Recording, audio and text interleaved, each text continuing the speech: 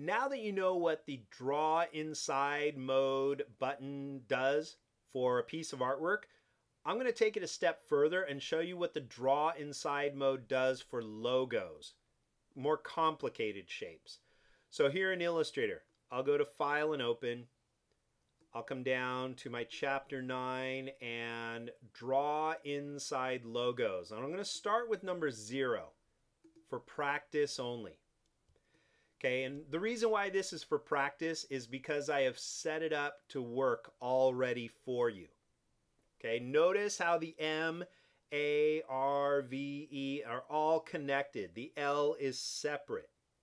But when I click on the L, it selects the entire word. And that's because I have prepped this ahead of time for you. Okay, so here is the trick. When I click on the word, all I have to do is click draw inside. There's a set of brackets around the word.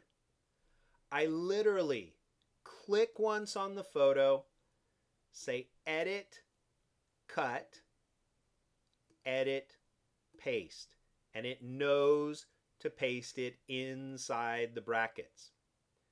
When I double click outside, I can zoom in to see the results. And you'll notice now that I've already done that, I don't like where the photo landed. Like Wolverine's face is landing right behind this red bar. I don't like that.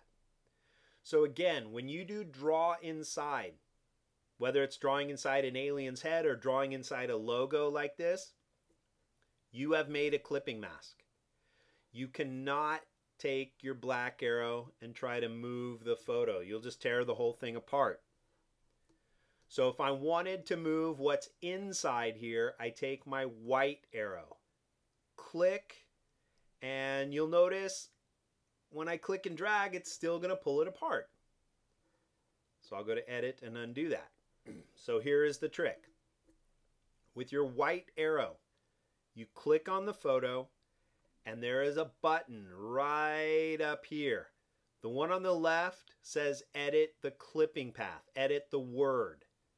The one on the right says edit the contents, the photo that's inside that word. So when I click here, now I can see the outline of the photo.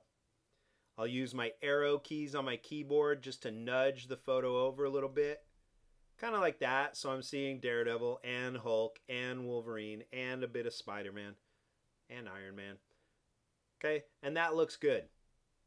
But the other thing to keep in mind is when you put photos inside of type, it makes the type hard to read. So I'm going to take my black arrow, click on the photo, which is actually selecting the word, click on the stroke, and I will make the stroke white.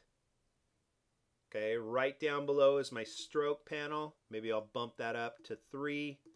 And now I can read that word quite clearly. Okay.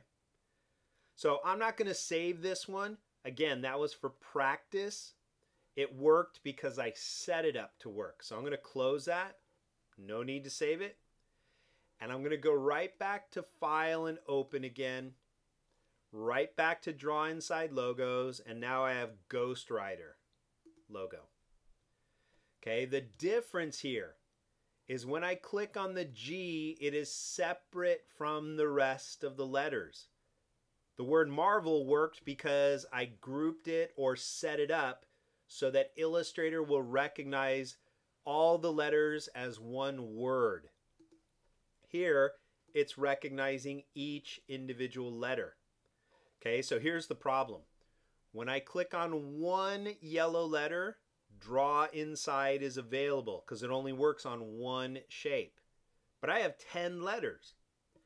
As soon as I hold shift and click on the next yellow letter, draw inside is not even going to work anymore. It's not available. And I still have eight more letters to pick. So now I'm kind of stuck. Okay, draw inside is for one shape. This is 10 separate letters. I have to trick Illustrator into somehow thinking this is one big logo, not 10 separate letters. And here's how you do this. I'm going to click once on the yellow G, go to select menu, same fill color. Select all the yellow letters. But again, these are 10 separate yellow letters. Some of the letters have openings, and an object with an opening is called a compound path. So what I'm going to do is go to Object menu, Compound Path, and release that from all the letters. And then I immediately go back to Object, Compound Path, and make one big logo. Look how Draw Inside is now available. I click it. There's my brackets around my logo, not the 10 letters, but the logo.